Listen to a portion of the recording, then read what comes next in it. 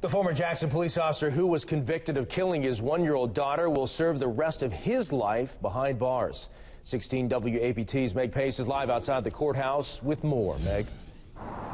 Well, Darren, the judge told Natayo Gray he saw no reason to grant the ex cop any mercy for killing his one year old daughter. While it is commendable you have served as a Jackson police officer and detective for approximately 10 years prior to this crime, that hardly mitigates the great damage you have done to this child, this family, and to society as a whole. Last week, a jury convicted Gray of capital murder for killing his toddler daughter, Aubrey Zoe Brown. Before Judge Jeff Weill handed down Gray's sentence, the victim's mother asked the judge to give Gray the maximum penalty.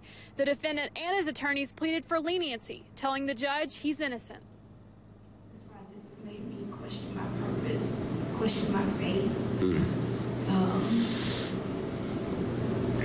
yeah, because every every hope, every dream revolved around her. This is a very sad day, and, um, and we'll just keep on fighting the good fight for what's really right.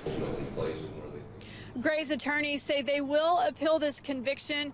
Gray will serve life without parole. The judge says he is going to ask the Department of Corrections to put Gray in protective custody since he's a former police officer.